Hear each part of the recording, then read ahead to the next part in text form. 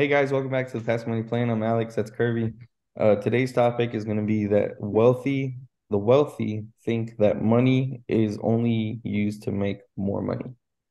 So, obviously, we talk about this a lot on the uh, on the channel. Um, Kirby, before I go into this, what are your what are your thoughts? Um, it's a, I mean, for us, it's a simple concept because we live in we live it every day. But the only purpose that I see for money is to make more. I mean, of course, people gonna say, "Oh, what about your bills? What about you know utilities? What about food?" Yeah, that's a very small percentage of the money that comes in. But my goal when I wake up is not, "Oh, how I'm gonna pay my bills." My goal, my goal is wake up every day, and it's not a you know, every, and it's funny. This is the funny thing. People think that wealth building is an on and off switch. They believe it's uh oh, you only do that on the weekends, like it's the National Guard or something. You know, one weekend a month, two weekends a year.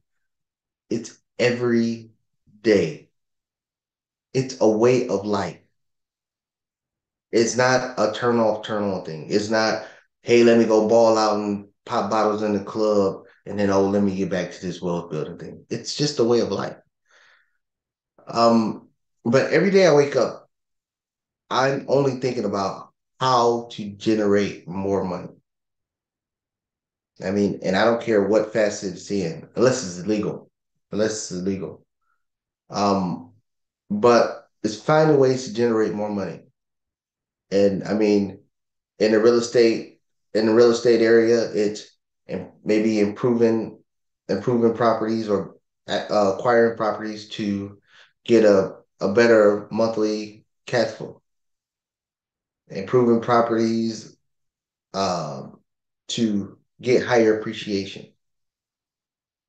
And the stock market is looking at a very undervalued undervalued company and doing the research on that to get appreciation. If it's a dividend stock, looking at looking for high yielders to bring in quarterly cash flow.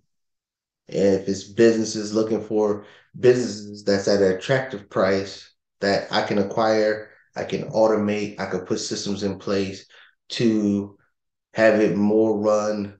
I'll say more run. I'm not gonna say completely passive because at the beginning I will have you I will do work, but seeing if it's you know jobs or something very boring that I can acquire to create more income. That is what my day consists of. Not, oh, how I'm gonna pay the light bill.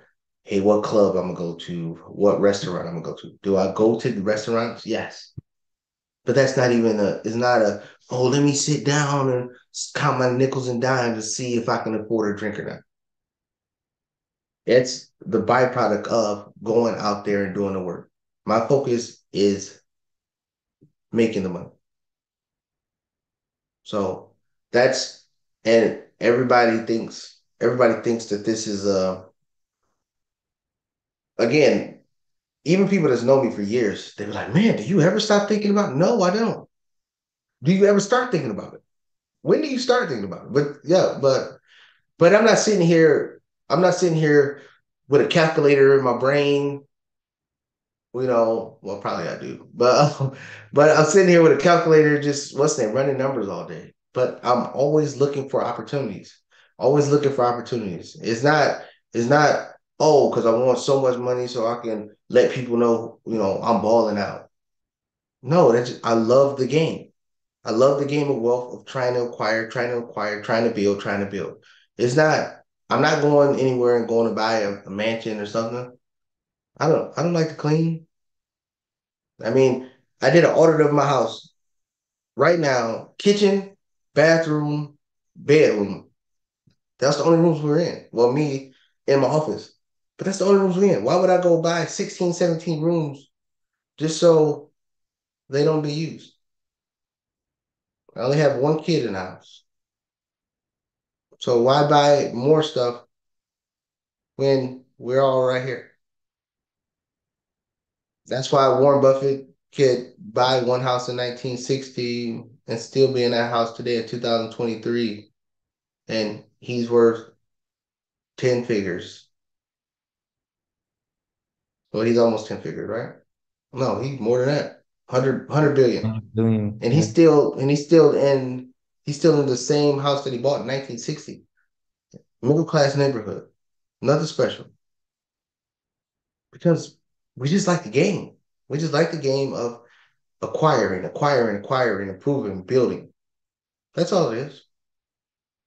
And then don't get mad at us because we don't have your same philosophy of, oh, acquire, spend, blow the money, blow the money, uh, hope we can pay the cable bill, hope we can afford groceries to try to do it all over again.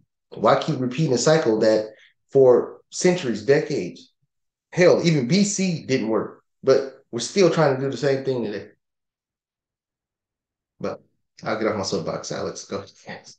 No, I know where you're coming from. Um, yeah, and that's that's all it is. Is just um, building and growing. And we've talked about this before. Like, you know, the idea is, you know, setting the foundation, and then wherever your money is left to those generations or whatever company it's left with, for that to grow in better society in the future. Like and like you said, it's a lifestyle.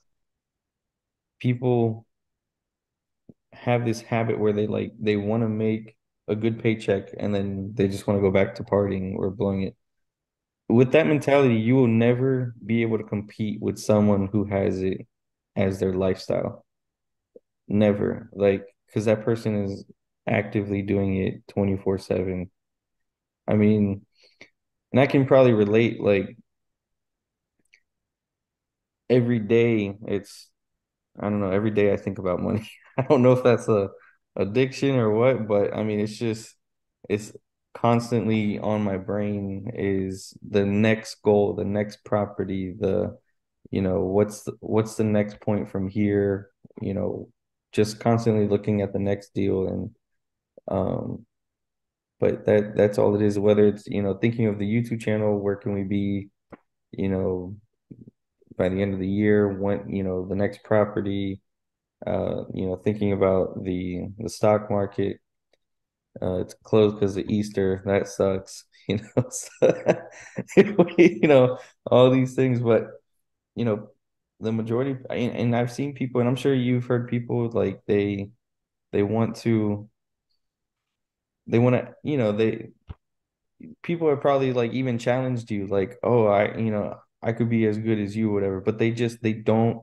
do it. They don't keep a life. They don't make it into a lifestyle, and like that's the only way to be successful. And it's you know the the wealthy are thinking about how to make more money. That's that's all it is. And, and people want to label the wealthy greedy, but it's really not. It's not greed. It's they acquiring. It's the sport the money is just a byproduct of the work that they want that they put in. I mean, once you get past, let's say, there's no difference between 10 million and 15 million. There's no difference. There's no difference between 100 million and 200 million. The lifestyles won't change between those those realms. It just won't. And it's just the money that the network, people don't live off their network anyway. I mean, I know that's a big number they like to talk about on the internet. People cannot live off their network. Their network is just, you know, something on the scoreboard that make everybody who don't understand network ooh and ah. Nobody can live off their network. Not a Jay-Z, not a Billy Ray Cyrus, not a Tom Cruise. Nobody can live off their network.